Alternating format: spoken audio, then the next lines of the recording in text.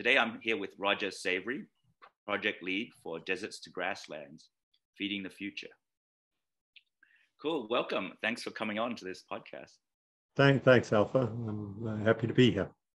Cool. Um, do you want to share a little bit about your background? Um, you you did a lot of work in Africa, right, with restoration and water. Um, so, well, firstly, if you look at my passport, I've worked in 64 countries. Wow. So, um, so I have been around the block once or twice. Um, I uh, I got born into holistic management through osmosis because my father, Alan Savory, is kind of the founder of the entire movement, um, which is um, kind of uh, morphed into the regenerative agricultural um, movement. Um, and so I um, ranched in America, Canada, Australia, uh, Africa. Um, so I've always been one of the unusual consultants from the point of view I've always been an owner and an operator plus a consultant. Most consultants only consult and it's book knowledge. I've got the practical knowledge as well as the book knowledge. Um, and while my father worked on policy and figuring out mechanisms to get this knowledge um, into um, into the world, I left that for him to do. I was the kind of the grunt on the ground, managing the Africa Center for Holistic Management's ranches, man, managing my own ranches and stuff. And I left when I left that um, NGO kind of work. Um, then I went, okay, if Alan is working on those problems and my sister is working on those problems, what can I work on that with my unique skill sets that no, you know, no one else has worked on? And call it a big ego, a small ego, a megalomaniac's ego, I don't know. But I looked around and I said, well, what's the toughest pro- problem that man has never solved? and uh, I've I've got six degrees all wrapped up into one, and um, so I've got a very varied education. Um, and based on that, I went. The greatest problem facing humanity is the exponential spread of deserts around the world. And you can read back into biblical times, Babylon, the Hanging Gardens, the land of milk and honey, um, Canaan. You can read throughout all the historical texts about how abundant life was and then once the desertification started, we've never been able to stop it. And where we created deserts, whether it was 10,000 years ago or 15,000 years ago or 250,000 years ago, that's the oldest records I can find. Wherever humans have created deserts, we've never been, un- been able to undo desertification. So I went, okay, that's the biggest problem. If I can crack that, then um, I believe there's hope for humanity. Um, so, whilst doing my ranching, whilst doing my consulting, my pet project in the background has just been rabid looking for information and knowledge um, for how to solve what I consider humans' largest problem. You know, and you know, climate change and biodiversity loss and all of these are symptoms of us creating bigger and bigger deserts around the world and then having smaller land masses to support more humans. So, so that's what I've concentrated on. And I had my first success in Zimbabwe. Then I had successes in America, then Canada, then Australia. And after 25, 30 years of research, I realized that I had I discovered it. I had figured it out and when I tried certain things, no matter where in the world I tried them, it was like gravity. I'd figured out the principles of what caused desert and how to solve it. Um, and so now I'm just trying to get that knowledge out and do bigger projects. You know, uh, solving a couple of hundred acres uh, is is not going to solve the world's problems, but solving it on at the millions of acres scale, that I think will have an impact on on humanity. So the Deserts to Grasslands Feeding the uh, Future project um, morphed out of several other projects I tried to get established. And I connected it to the X Prize um, because that was, you know, perfect publicity.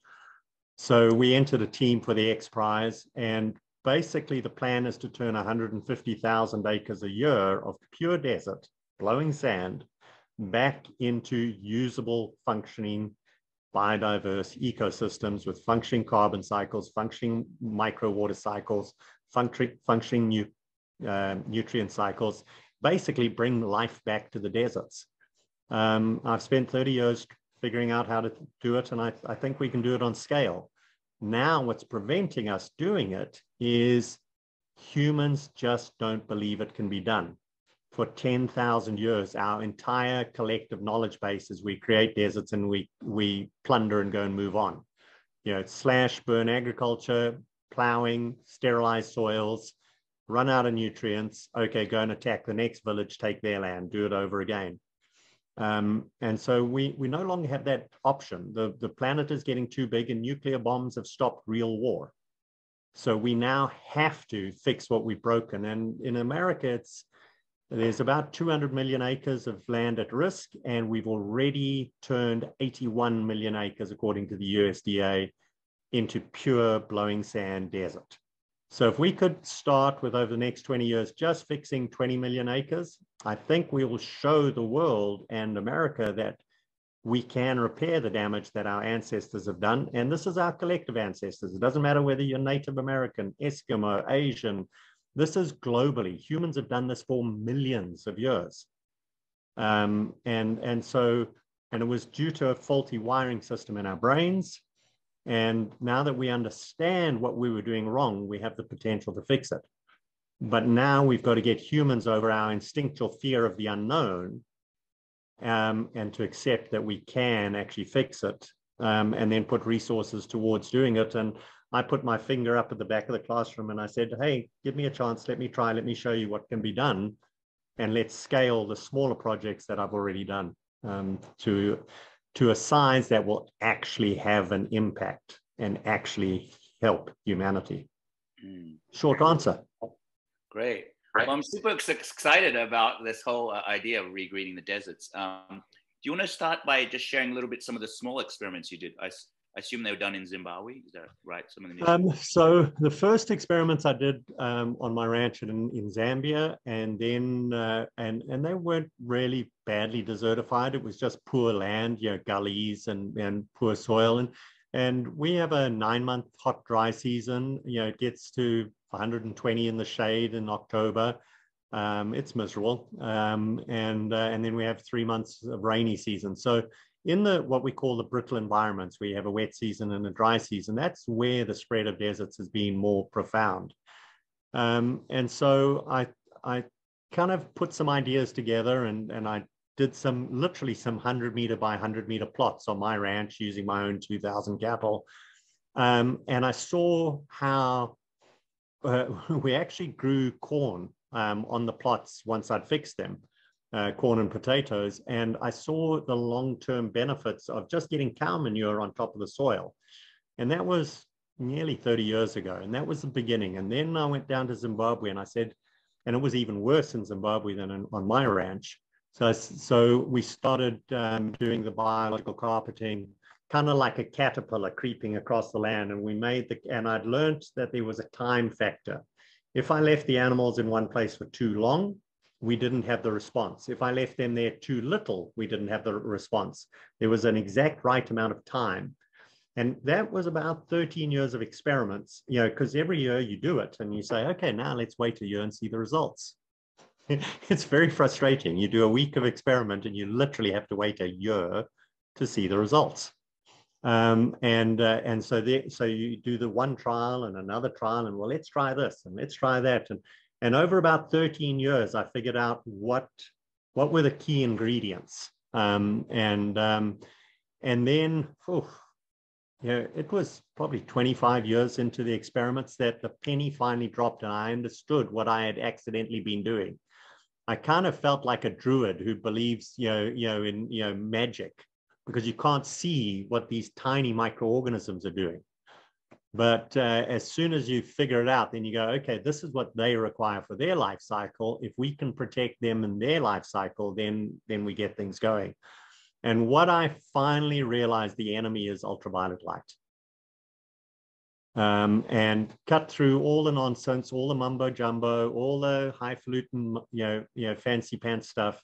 If we can protect the microorganisms living on the top one millimeter of sand from ultraviolet light and heat, we can build soils anywhere.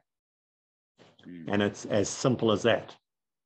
Um, so once we've got the ultraviolet light taken care of, then by default, we get the heat taken care of. When we've got the ultraviolet light and the heat taken care of, then life can start building. And you, you know, everyone remembers that bacteria divide every 10 minutes. So the process of them building and multiplying and growing is very fast once we can get them to live. But ultraviolet light kills them instantly. So you've got to have this solid carpet of biomass. And I mean solid, there can be no gaps, none. And when you can get a solid carpet to prevent ultraviolet light getting through to that top one millimeter of sand, that's when we just see things take off. Mm. Um, so, uh, so over 13 years, I figured out, you know, number of cattle per square meter, amount of time, you know, uh, there was so much mathematics to figuring out exactly how to get that biological carpet just right. But the basic principle is all we're trying to do is defeat heat and ultraviolet light. And I've come up with a formula for how many cattle, what feed they've got to have to do it. Once that ultraviolet light is taken care of, then the bacteria and the fungi can get established, you know, mycorrhizae fungi. Everybody knows uh, funguses need warm, wet, and dark. Well, where do you find warm, wet, and dark in the sands of the desert? It just doesn't exist. So unless we can give warm, wet, and dark conditions for fungi networks to get established, we have no hope of creating soils in the desert. And that's why covering sand with plastic, or if you see all these organic farms, they roll out plastic, you know, and then plant their plant. It has no hope of um, working. It actually kills the soil microorganisms, creates too much heat. It's got no food source. You know, so we have to use nature because nature evolved for for itself. So, so yeah, that's as simple as it is. But it's something that evaded man for over ten thousand years. And I'm not saying that someone else didn't figure this out four thousand years ago, but he didn't have the power of the internet to spread the message around the world. yeah, so I, I hope we can break through. Um, but uh, just miraculous uh, examples wherever we have done it, whether it was you know, in the you know, heat of the Australian outback, whether it was in Africa, where you know, um, we've done it up at nine and a half thousand feet in an, in a high alpine you know desert in Colorado where they only have 60 days of growing. Um, you know, we've I've, I've moved around the, the world trying to find somewhere where it won't work, and I, I can't find the place.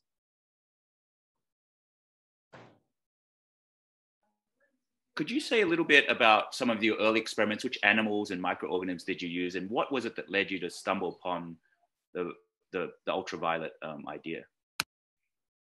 So we can blame San Diego and a bar for the ultraviolet idea, um, because I had a civil engineer woman just keep asking me questions about well why and why and why and why. She was very annoying, but she forced me to think. Um, and I, kept drilling deeper. And she said, Well, why is that? And, and I drilled deeper. And well, why? And then finally I went, Oh my God, that's what it is. It's the ultraviolet light. But, um, you know, I mean, I, I, I chased many um, uh, dead ends. You know, uh, in one of uh, my biological carpets, we noticed that the sheep and goat pellets, the most grass grew in those. So we thought, oh, maybe it's the urine and the and the you know whatever's in a sheep and goat pellet. And uh, for two or three years, I was chasing the sheep and goat pellets um, as as the as the silver bullet.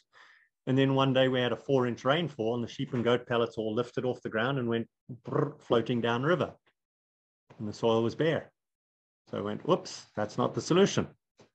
Um, then you know, so then we you know we realized that the cow patties locked onto the ground like a plate.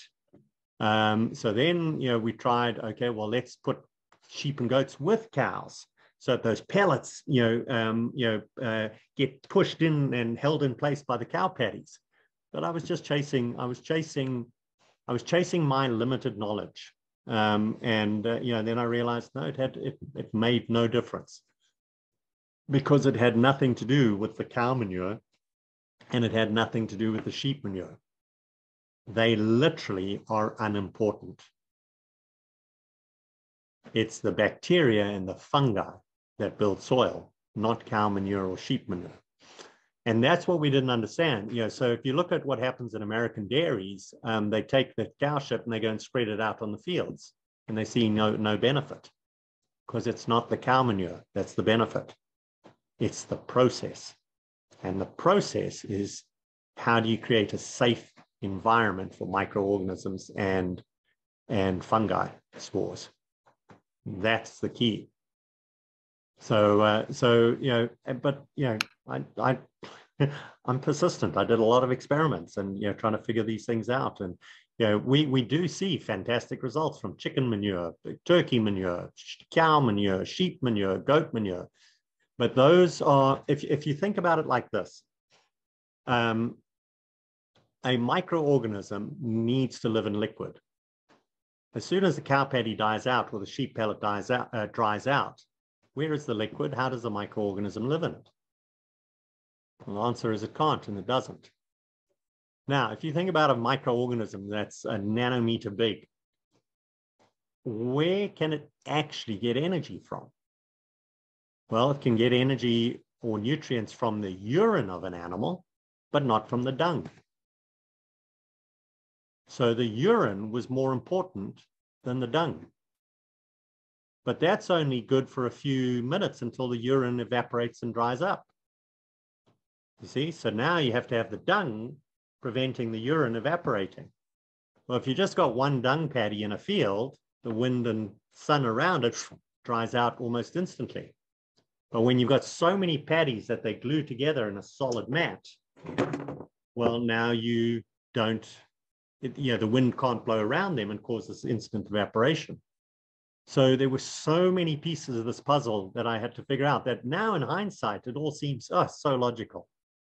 But for many years, it was, I think that's why I'm bald. You know, for many years, it was like, what the hell happened here?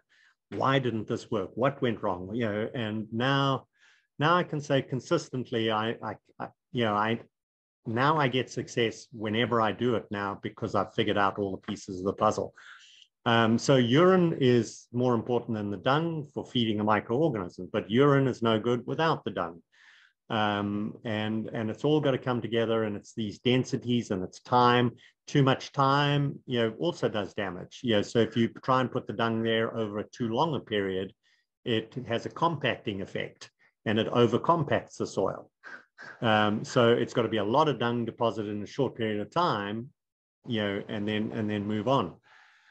So, you know, we're talking about herds of 150,000 cattle, you know, kind of just creeping forward daily, you know, leaving, leaving a pile of shit behind them. But now if a pile of shit is four inches high, which is, you know, often they hit the ground four to six inches high, any gardener in the world will tell you that a four inch pile of, uh, of uh, mulch will stop seeds germinating and growing through it. So then we had to figure out, okay, well, how do we get it all evenly spread out across the ground?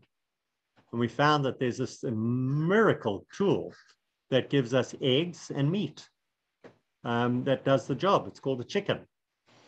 So now while the chickens were in scratching through the dung looking for fly maggots, they were spreading the dung out nice and evenly. So the chickens are now part of the, the thing. So you know, we start we start trying to save the life of a microorganism. Now we've added a cow. Now we've added a chicken you know, now we get a meat product out of the cow and a you know meat product you know, and an egg product out of the chicken. Um, and uh, yeah, so already we're getting a return on our investment while trying to turn the desert back into a grassland. Mm-hmm. And then as soon as things start to germinate and grow, well, now the micro water cycle gets fixed. And that is what humans have just never understood we didn't even know it existed. I think I'm the one who coined the term micro water cycle. You know, people talk about the little water cycle and the big water cycle. I think I'm the one who started calling it the micro because it is at a vapor size. It is micro. Um, and what I found was once we fixed the micro water cycle, life really takes off. You know, and that was what humans had fundamentally failed to understand and know the power of.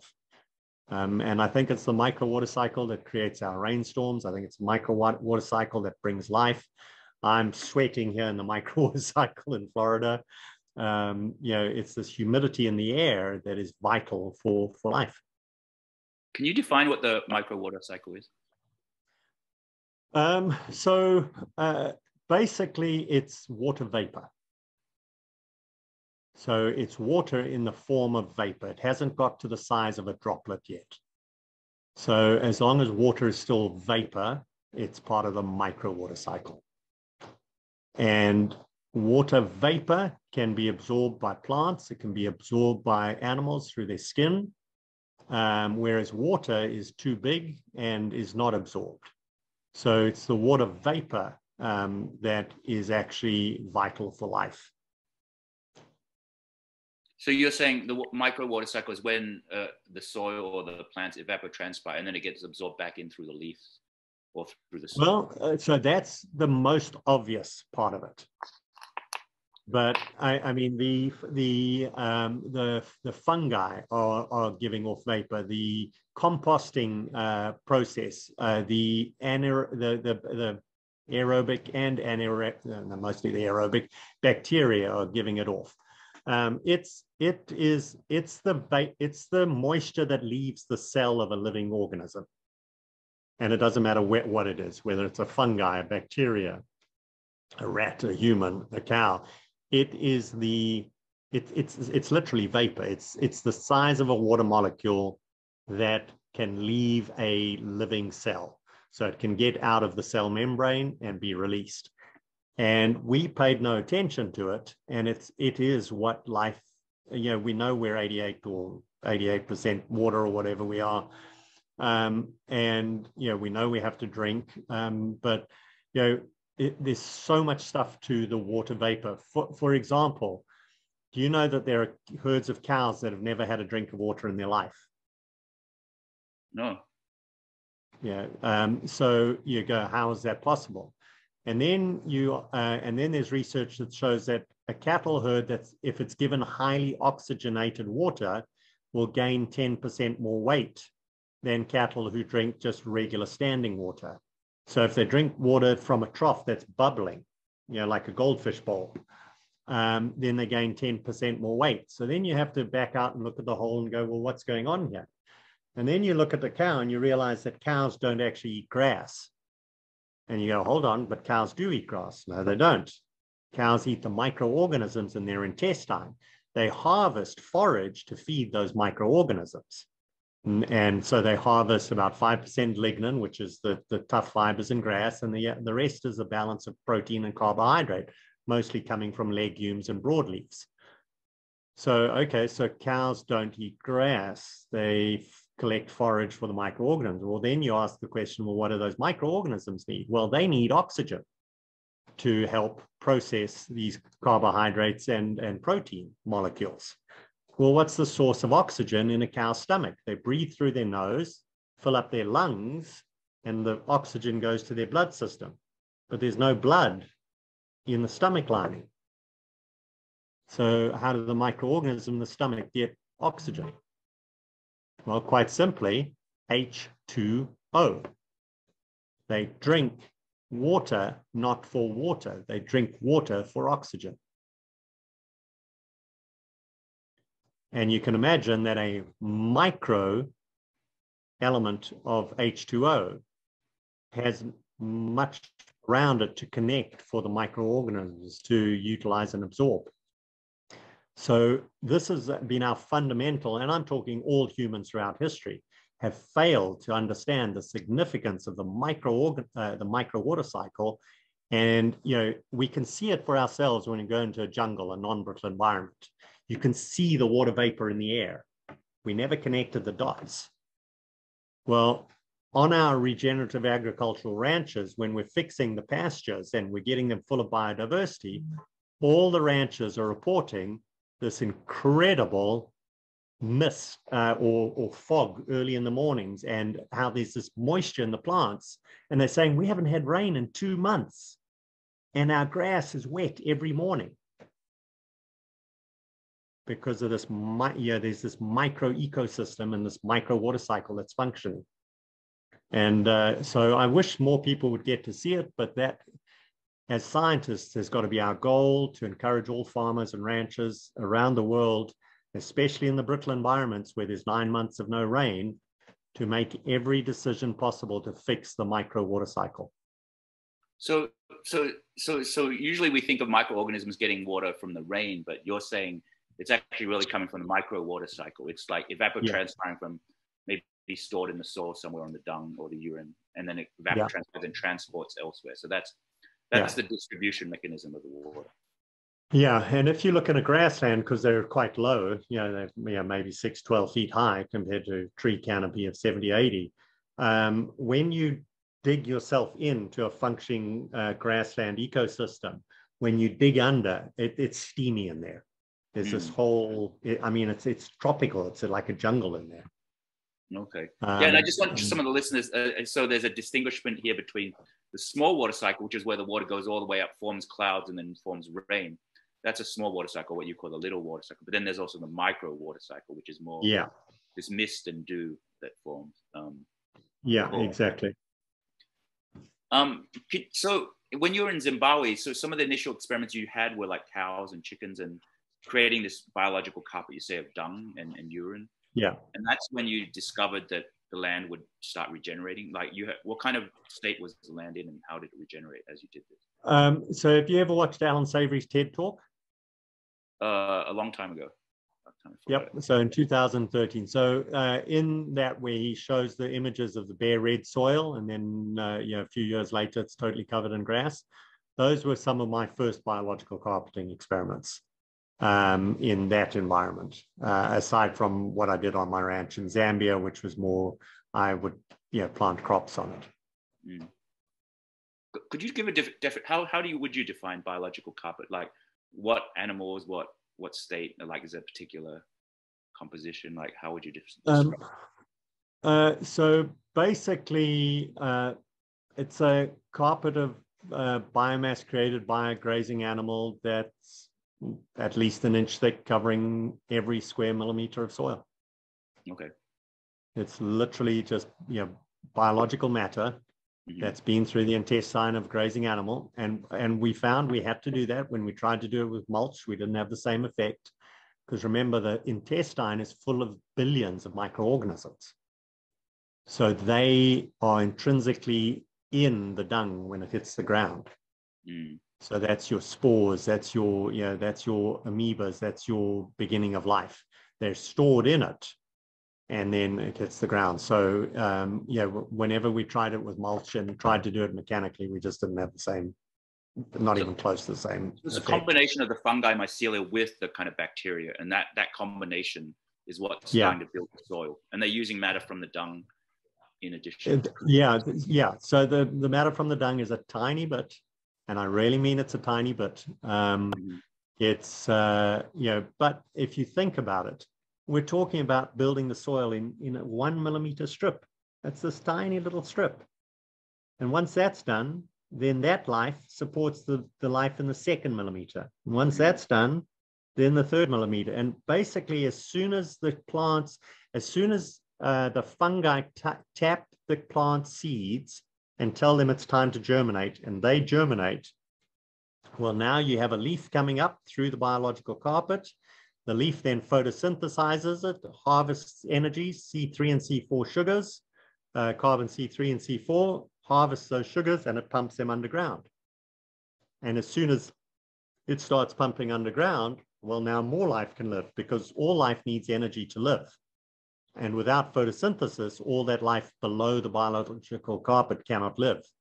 So the carpet is the first bit to stabilize, protect from heat, protect from ultraviolet light. Then once the mycelial network is established, it then triggers the seeds to germinate. A seed will not germinate unless a mycelium caps it on the, you know, on the, you know, seed um, and says time to germinate. There's a symbiotic relationship. So seeds without any mycelium, you know, you know, won't germinate, and then with the mycelium, they will germinate. Now, farmers have known this for a long time. That's why you, you know, when you buy legume seeds, you have to buy uh, what is it called? There's a word for it in farming. Um, uh, anyway, yeah, farmers have known for a long time. You buy inoculant. That's what it is. So you buy a mycelium inoculant to mix with your seeds before you put them in the ground.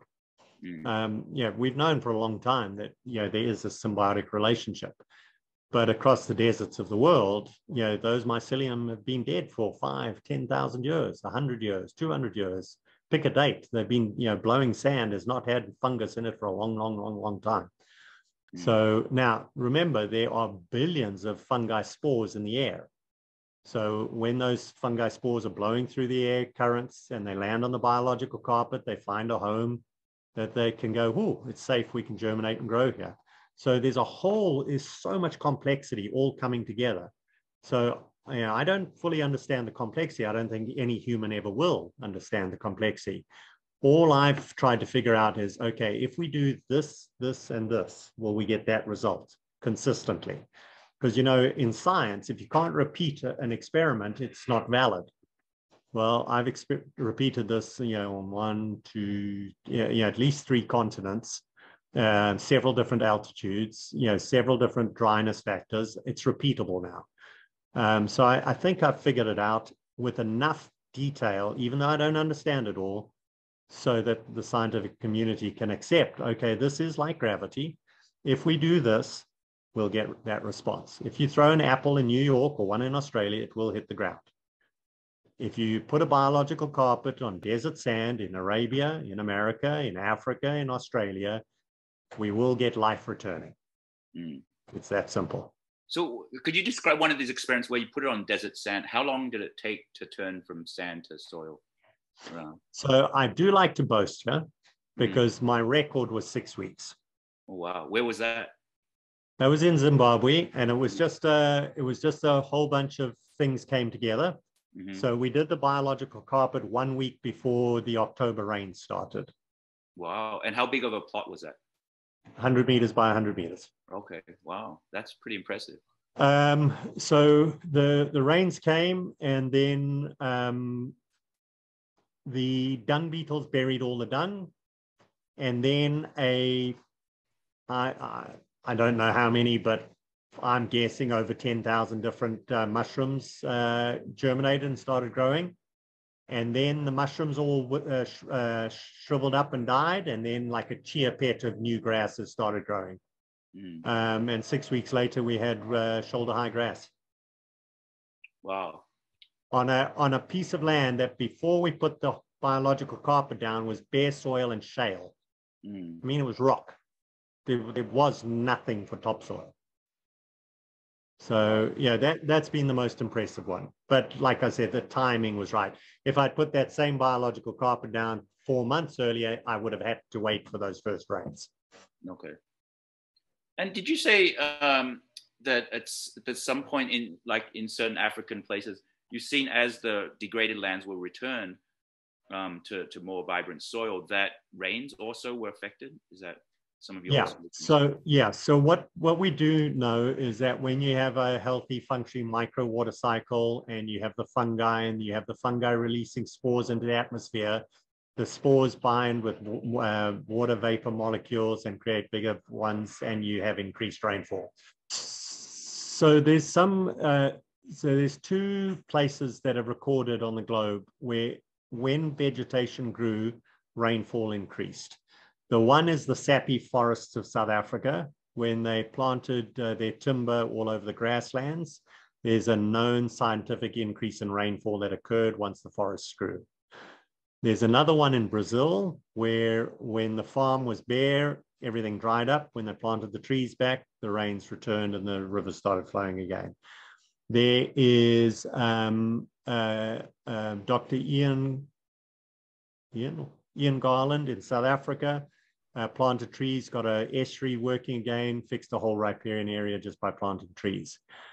Then as far as the grasslands go, the American Midwest, in the spring of each year now, it's much drier than historical records because they plow all the land bare and they plant corn. But in the late summer, when that corn is six, eight, ten feet tall, the historical records are now showing that the late summer has much more rainfall. So they've got drier springs because the soil is bare and much wetter late summers.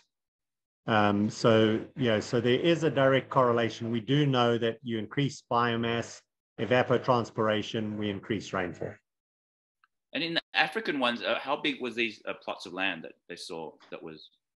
Um, so in Africa, we fixed about 5,000 acres. Um, and it was definitely more moisture on the one side of the highway that we fixed than on the other side. Mm. Yeah, wow. people used to say, yeah, it was quite funny. Ah, it only rains on your property. That's why we've got a drought. And we were like, yeah, but six years ago we looked like you and we fixed ours. Now you can do the same, and your your drought will end. And were you able to convince neighbors of that? they are being convinced slowly. Yeah. Okay. Yeah, there's, and that's why we're having such a problem launching our deserts to grassland feeding the future project. Is humans are so skeptical um, that they take uh, basically 14 to 15 years to accept a new idea at a minimum. Mm. Uh, basically, you have to be a child when you hear it, and when you become an adult, you'll accept it. But an adult won't accept something that he hears as an adult if it goes against his belief system. Right. Yeah.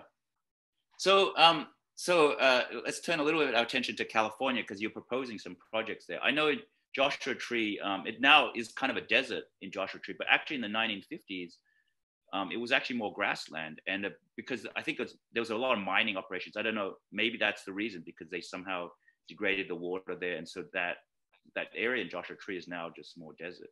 And so it's expanding in, in California. Sometimes we think that there's less rain there just because of the mountains, but actually it's also the human activity that's creating these deserts and expanding them. Well, so uh, the whole piece of land behind the mountain range between the coast and the, the inland desert is fascinating. Um, if you go and wander out there as much as I have, you'll find barbed wire fences where just the top strand of wire is sticking out of the sand. Okay, now barbed wire was invented in what, 1866? Okay. So, and it was an expensive product. Now, why would you put a five strand barbed wire fence across a desert if there was no forage? You wouldn't have. It's illogical. Okay. So it shows that around 1866, there was enough grassland and enough livestock there to make it economically feasible and economically viable to run a five strand barbed wire fence, the latest in technology in 1866, across those what we now call deserts. But if you look at the records, um, there was the 100 year flood. And I don't know if you remember, but about two years ago in Queensland, they had one of those floods and over 100,000 cattle died. They were, you know, the water was all six foot deep. Cattle were washed up against the fences and they died. Okay, now go back to the gold mining rush era, and you've got cattle on the more lush land behind the mountain range the, uh, the gold mines are on the coast and the, the cattle are inland. They are shipping the cattle in to feed the miners. So that's the ranching area. Now, there's no telecommunications, no roads, no everyone's on horseback, and this 100 year flood comes along. And the records are there, they show it. Well, the flood killed all the cattle, all the ranchers, everything died. One flood. Okay, now in a brittle environment, overrest kills grass. So now you've got no animals to keep the grass that grows after the flood alive. So now it starts to desertify from overrest.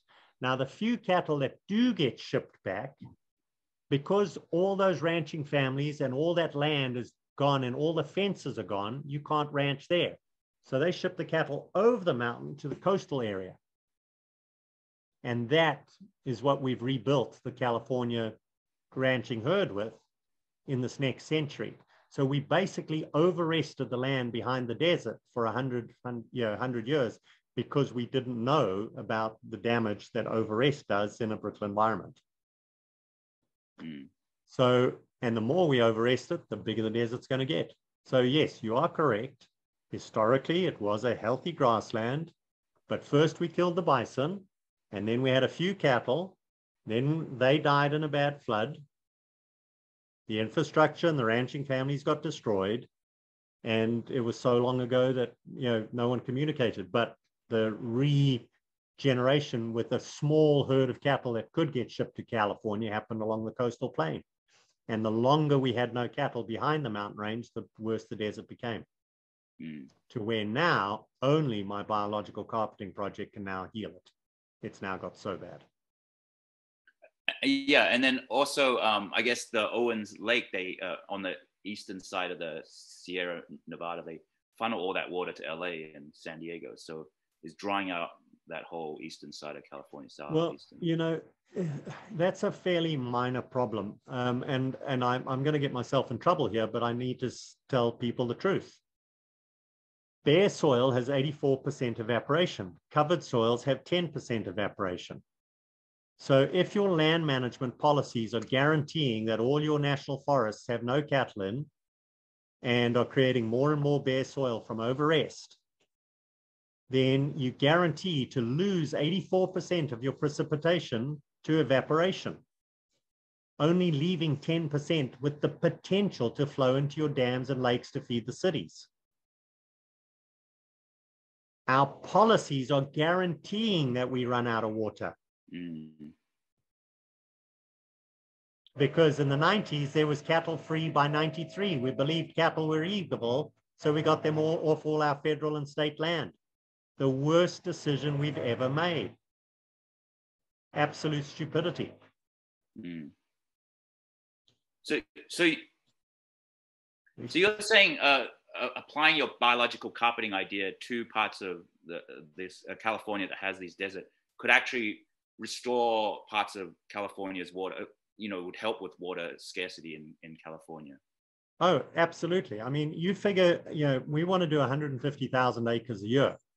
Once that's restored, that's more water going into the ground when it does rain. And, and I granted it's not high rainfall and it's not a lot, but it's more. It's cooler soil, so you don't have the hot air blowing into uh, San Diego and Los Angeles. Um, when cooler air is coming up off the desert up to that escarpment, right now, such hot air blows up there, it prevents the clouds making it over the mountain. Once we've got cooler air, if you know, going up that mountain, now more clouds will get over. So you'll actually have an increase in rainfall. Currently, the rain can't get over the mountain. There are so many things connected. But it all starts with us doing the biological carpet at the Salton Sea and surrounding area, fixing that 150,000 acres, um, and then expanding and expanding and just keeping on going north. And basically, from the Mexican border, just keep going north. You know, as we see, okay, we fix that, do the next bit, fix that, do the next bit. And most of it is owned by the state of California. So if the will is there, we, we can do it. Mm. um, you know, uh, small payment for ecosystem restoration services. And I think 10 million people in Los Angeles will benefit and they will not believe how much of a change there will be, but it will be massive.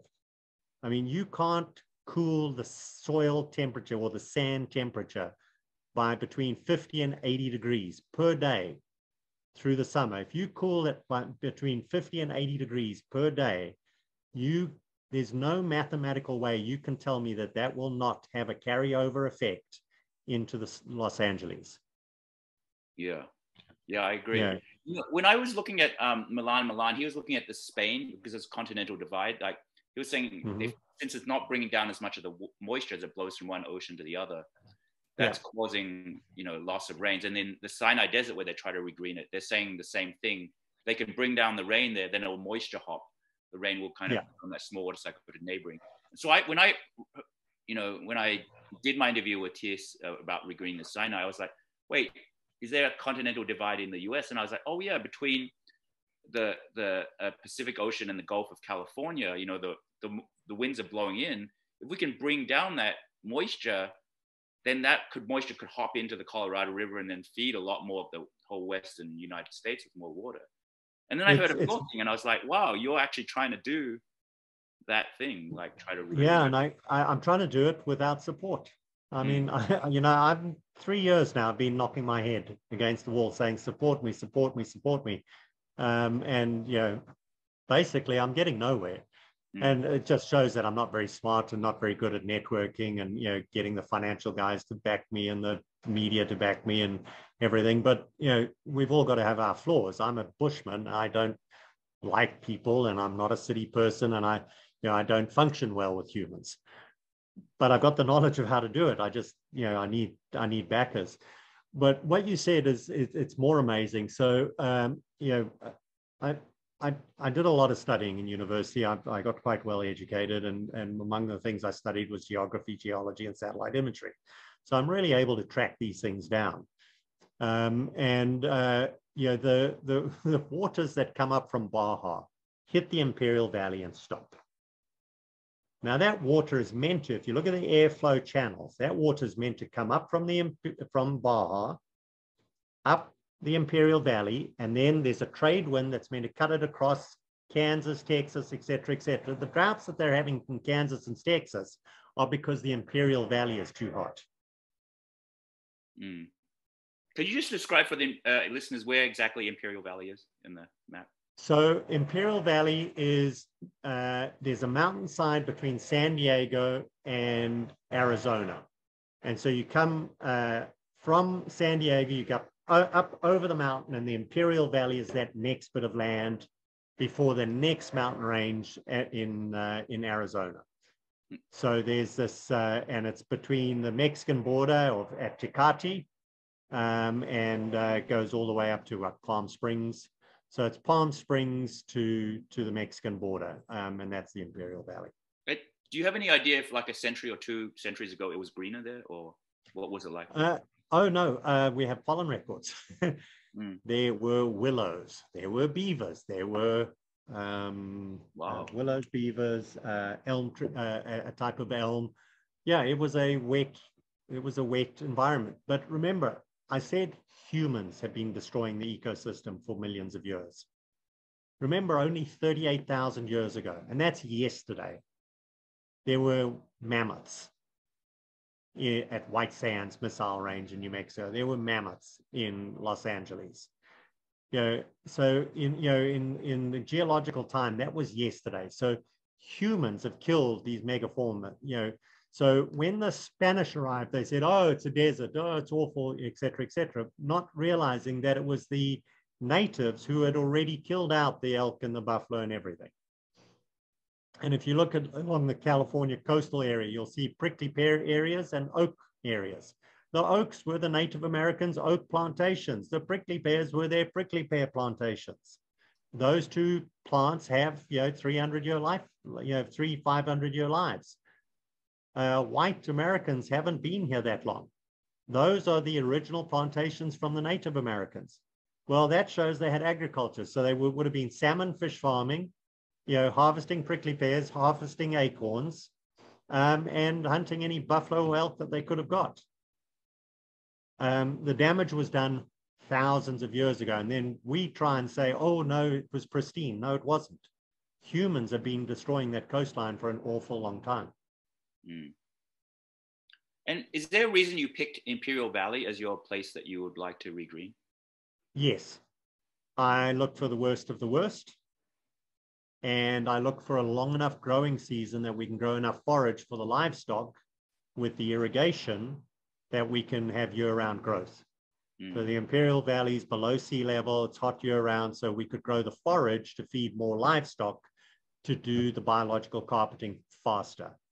You know, uh, Arizona will have winter, Utah will have winter, Texas will have winter, New Mexico will have winter.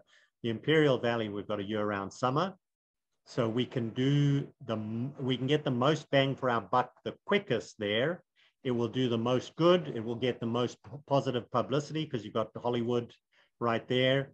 Um, so it, you know, when I made my checklist of all the things I was looking for, that is the, if you're going to target one spot to have the most, the lowest hanging fruit, the worst of the worst to begin with, um, and fix the, uh, and have, and have the fix do the greatest good, that's it. Mm. And how does it impact that it's right next to the Salton Sea? So basically, um, you know, I believe if we can get all the ground around the Salton Sea covered and we can have the rivers start to flow into the sea again, um, you know, I think we can slow down, if not halt, the evaporation. Um, you know, right now more water evaporates than flows in. I think we can probably get it back to where it at least stabilizes. Um, and I can't say how I'll do it, but I actually do have a plan to actually increase it as well. Mm, oh, interesting. So just for the listeners, the Salton Sea, uh, that like there was actually a big leakage, right, in the aqueduct in the early 1900s that created 19, 1930s. They created the lake by uh, a breach in the dike in the Colorado River. So the Colorado River flowed in, created the lake, and then they it took them like seven years to fill the breach. And then once they filled the breach, then that was all the water that was there. Yeah. Yeah, and then the Hollywood, everyone was vacationing there, but now it's slowly drying up and leaving all this residue. No, no. So it increased the dry, salty shoreline, stinking dry, dry salty shoreline increases by 30,000 acres a year. Mm. It's not slow. It's drying up. So, so your idea is to kind of create almost like a small water cycle where you're creating more rain and it flows back in and keeps that lake or sea kind of uh, full. Okay, yeah. cool. And yeah, yeah, now deal with all the respiratory issues that everyone's dealing with out there. Yeah, it would, you know, 70, eh, sorry, between 70 and 80% of the children in the valley have asthma. Mm. So how big of a plot are you looking for in the Imperial Valley? Um, how many acres? So to begin with, for the first couple of years, just to prove concept, train staff and get up and running, we want five to 6,000 acres. And then within three years, we want an agreement with the Californian government. Once we've shown that it's working, we want uh, basically to fix 150,000 acres a year. Okay. And then how many cattle would you be bringing in for this? So to begin with, yeah, we start, um, yeah, start with a couple of thousand cattle, train the staff, get a few more. Um, but yeah, kind of the the beginning 5,000 acre thing, I think we're talking uh, between 20 and 30,000 cattle to begin with. When we get up to 150,000 acres, it'll be 600,000 cattle okay. at any one time. Now, understand that that's truckloads of cattle arriving every day and truckloads of cattle leaving every day to be processed in Brawley at the meatworks to be sold into Los Angeles as organic, grass finished, pasture raised local beef. And then how does the rotational grazing, the holistic management work? How often do they graze in one area and then move to the next? So once the biological carpet's done, cattle are removed. Okay. Then we have to allow for the regeneration to occur. And basically what we're doing there is we wait for the rainfall. So if we have another seven year dry period, we'll wait seven years. But if it rains every year for the next seven years, if we're going into an El Nino uh, cycle, then you know, forage will grow immediately. Once the forage is growing, then we do holistic planned grazing with a breeding herd of mother cows that are then perpetually there for all time into eternity to maintain the grassland ecosystem. And they are, uh, and then we do them to a holistic grazing plan and they might graze once in one or two years, depending on what the rainfall is. After in many deserts, we have a two-year recovery period before we graze again. But when they're grazing, they're grazing at a million pounds per acre. So they're shoulder to shoulder, churning things up, lots of dung, lots of urine, invigorating things, um, you know, really stirring things up, graze it, but then the land gets a long, long recovery period. Mm. And that's how we maintain grassland ecosystems in desert environments.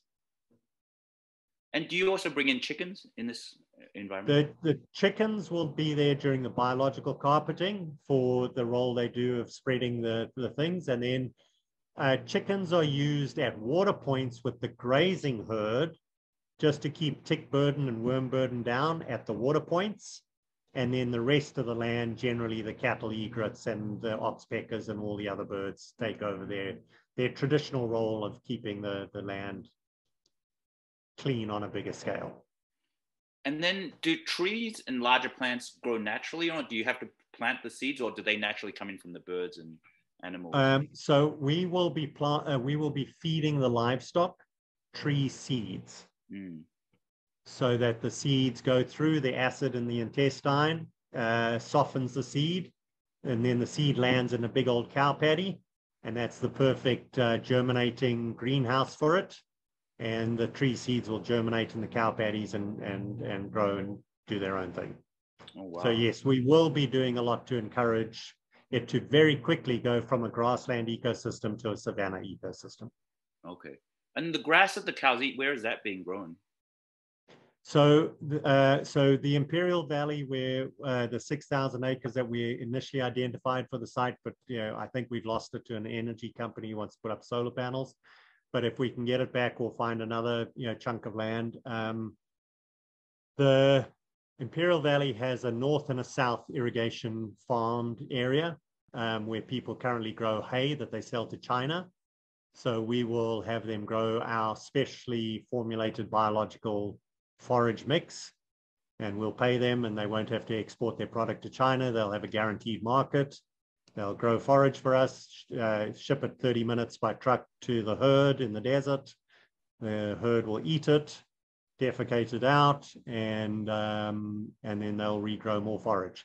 And that's why we like the Imperial Valley because they can grow forage year round. Mm. So they don't have to stop because of winter.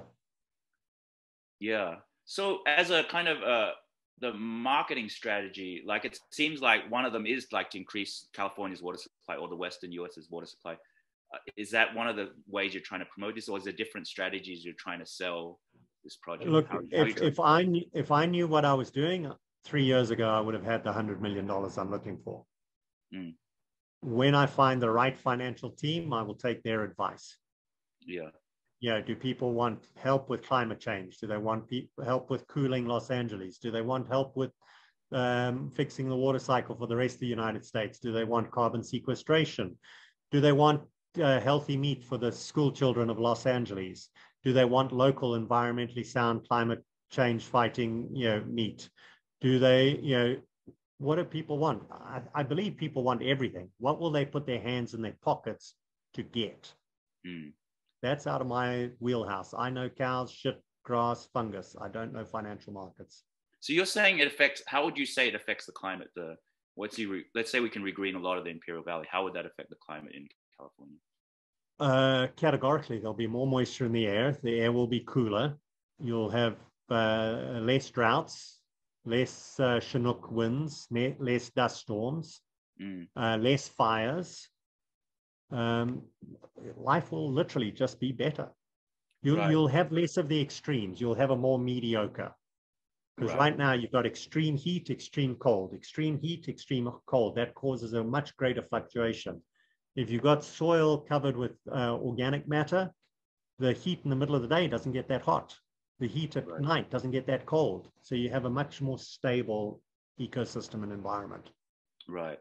So it seems like you know, you know, there's multi-billion dollars thrown at the whole fire issue. So like, this is like a kind of approach that's coming from left field that people haven't seen, but maybe that's one area to target. And then also the water scarcity, you know, multi-billion dollar issue. So that's another area to target. And then also maybe there's ways to we need to get this into the climate conversation, you know, the heating globe, you know, the global warming thing. Like there's ways to kind of approach that. Um, so and that's why so, I'm, I'm, doing this podcast with you.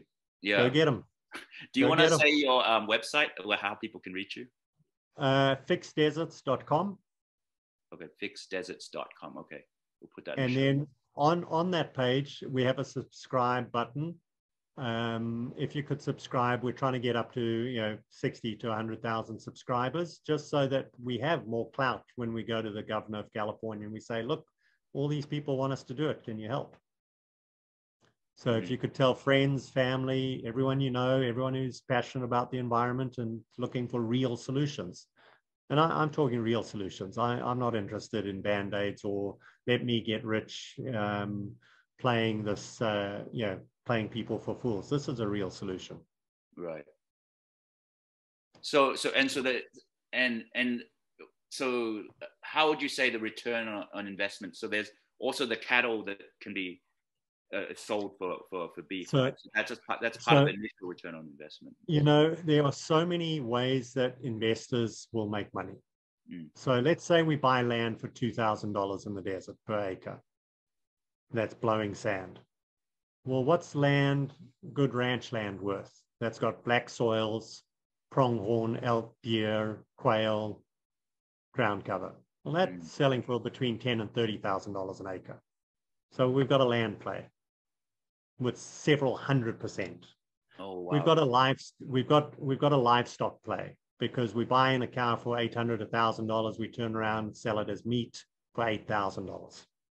So that's a meat play. We've got a carbon sequestration if we can come up with agreements to keep the carbon in the soil for 100 years. That's a carbon play. We've got a water sequestration, you know, ecosystem services with the government for all this water sequester. That's a water play. Um, uh, yeah, we've got a real estate development, you know, 500 acre ranchettes with $10 million homes on them, you know, less than two hours from Los Angeles. We've got a real estate play. Uh, we've got a lot of plays, but personally, I don't care about which play it is. I just know we have to do it.